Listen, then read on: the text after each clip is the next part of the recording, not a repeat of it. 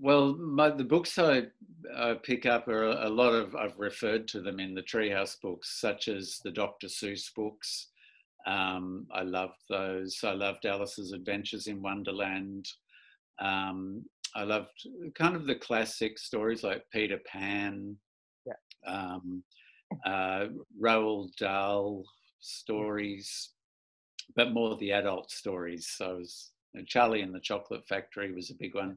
And a, an English writer, Enid Blyton, she knew how to tell a story. You know, she'd just get the kids at the into danger by the end of chapter one. Very little description, yeah. a lavish imagination, and so she was my real um, storytelling model, really. And she had a book called The Magic Faraway Tree, yeah. where a tree full of incredible characters and also lands at the top that would come around like upside down land and yeah. shouting land.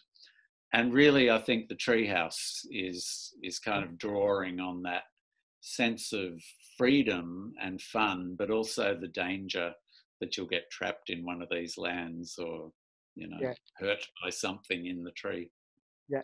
So yeah she was she was big. And horror comics. I loved comics um, science fiction style mad professors creating things in the the laboratory yeah um, monsters rampaging over the city and people trying to stop them.